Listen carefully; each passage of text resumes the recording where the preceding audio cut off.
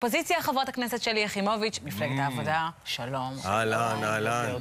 וואו, אתם מזכירים לי קצת, סליחה על הדימוי המצער, תזרום עם זה. את אה, חתיכות הקרח האלה שעליהם עומד דוב קוטב, וזה הולך וקטן, הולך וקטן, עד שבסוף הוא עומד על רגל אחת ככה. אין לכם יותר מפלגה. טוב, זה מצחיק מה שאמרת, אבל אני בוכה מבפנים. אני בטוח שאת בוכה. אה, קודם כל, ברור שזה מדאיג, הסקרים האלה, והם לא גורמים אה, לקימה מחויכת בבוקר. אה, אבל אני מספיק זמן בפוליטיקה כדי להבין שיש מצבים משבריים, ושבעזרת דבקות בדרך ובאמונה והתנהלות נכונה בקמפיין, אפשר להיחלץ מהם, ואני משוכנעת וחותמת לך שזאת לא תהיה התוצאה בקלפי אחרי הבחירות. כבר הייתי ב... אבל, אבל מה... סליחה. מה? לא, הדרך הבטוחה הרי הייתה, כדי לצאת מזה, היה איחודים. ופה אף אחד לא מוכן להתקרב אליכם, אף אחד לא מוכן לגעת. זה מעליב. ממש מעליב. טוב, בואו בוא נגיד שעלבון זה לא התחושה הדומיננטית אצלי. אלא? כעס? נקמה. אתם משעשעים על הבוקר.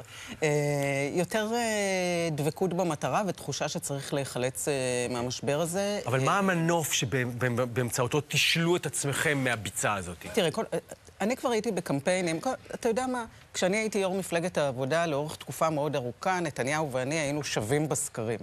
באמת, הכותרות היו נושפת בעורפו של נתניהו, ואחר כך קרו דברים בלתי צפויים, כמו למשל האיחוד עם אה, איווט ליברמן של נתניהו, ואז יאיר לפיד נכנס, וזאת התמודדות שמפלגת העבודה, שהיא מפלגה מאוד מחודדת מבחינה אידיאולוגית, ויש לה צבע וזהות, תמיד מתמודדת איתה, עם כניסה של מפלגת מרכז מטושטשת, שאיכשהו יותר נוח להתכנס תחתיה. אז מה עושים? קודם כל לא מנסים להיות מטושטשים גם, אלא דבקים בערכים שלנו שהם מאוד מאוד ברורים ומוצקים. הערכים שלכם. כרגע זה שאף אחד לא יושב עם נתניהו בממשלה. זה הערך שאתם לא מדברים נכון. עליו. אני, אני חולקת עלייך לחלוטין, זה לא פרסונלי. זה לא שאנחנו אומרים לא נתניהו.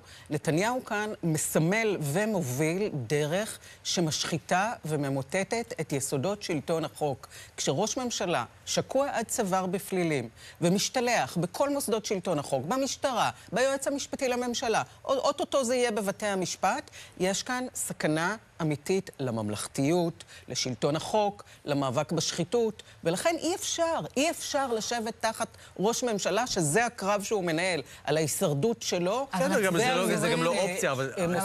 הציבור, הציבור זורם. הציבור מאמין, קונה, בולע. זה, זה מה שהציבור רוצה. אני חולקת עלייך. אני חושב... בואי אני אגיד לך משהו אחר. אני מעריכה בוודאות גבוהה למדי שנתניהו לא יהיה ראש ממשלה אחרי הבחירות האלה. וזה הצד היותר אופטימי של מה שמתרחש במפה הפוליטית.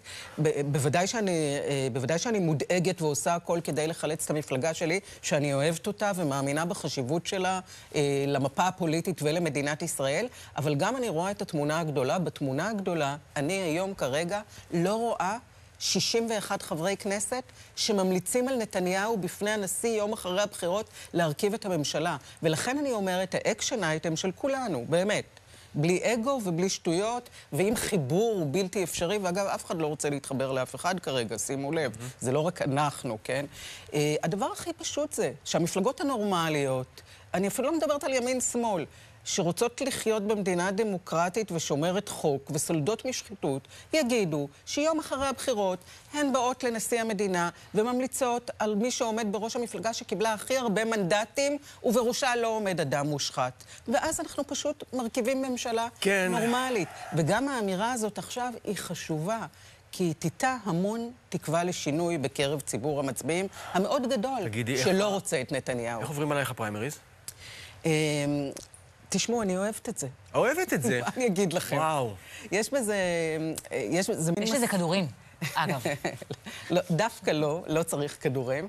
אה, יש בזה משהו, משהו מאוד נכון ומדויק בתהליך הזה, שבו אתה צריך לעבור ממקום למקום ולהסתכל בעיניים של הבוחרים שלך ולבקש, תבחרו בי.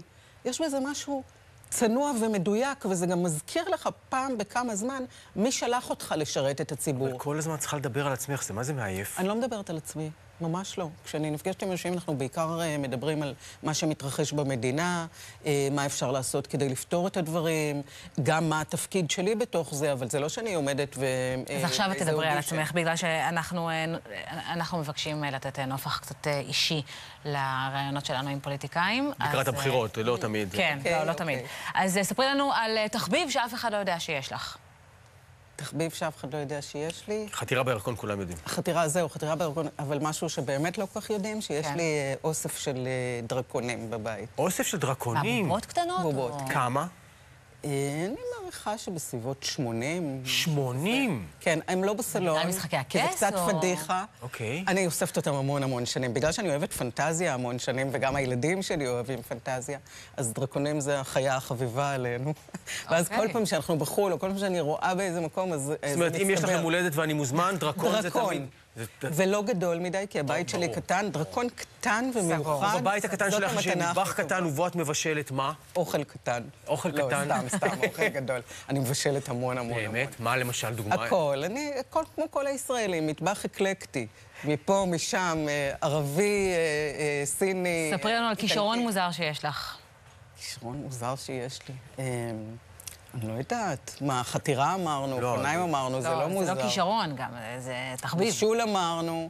אה, לא יודעת, אין שום דבר מוזר. יודעת לשיר את התקווה מהסוף להתחלה. ממש לא. לא, אה? פעם, פעם מאוד אהבתי לשיר, אבל אה, גיליתי שהילדים שלי מאוד לא אוהבים שאני שרה. שזה מעניין.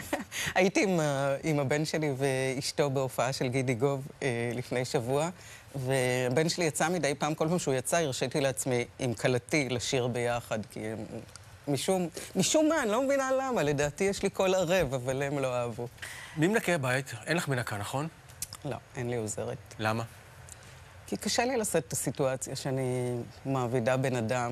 אה, נותנת פרנסה בשפע. זה, אבל אה, יש בזה משהו שהוא... אה, הוא פשוט, פשוט אני לא מסוגלת לשעבד בן אדם אה, שאני יודעת שנולד לגורל אה, שונה משלי והתמז, ולא התמזל מזלו כמו שהתמזל מזלי, אה, להיות משכילה ובמעמד הביניים, ואני פשוט לא מסוגלת. אני, אני פשוט מנקה לבד.